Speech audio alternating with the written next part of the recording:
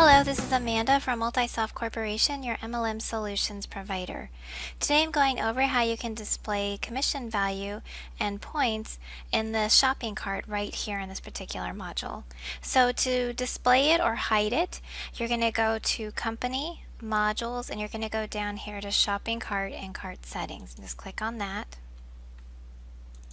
So when you're in here, there's a couple different places that the commission value and points are displayed, but there's certain boxes that are just for that particular module in the shopping cart. So let's look for that. It's going to be display commission value column and shopping cart right here.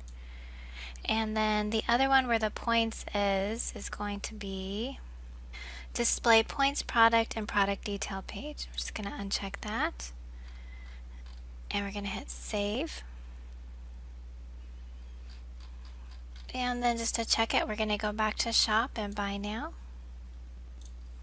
And you can see it's no longer displayed here. So that's just a way that you can display things in there if you would like, but easily hide them if needed.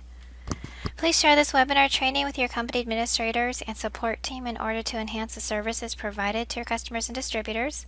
We appreciate your feedback and input. Please let us know if this helped and how we can improve supporting you. If you have any questions about this or any other trainings, would like to schedule one-on-one training with one of our CSRs, or would like to speak with a Multisoft account executive, please call us at 1-239-945-6433 or submit help desk ticket request at helpdesk.marketpower.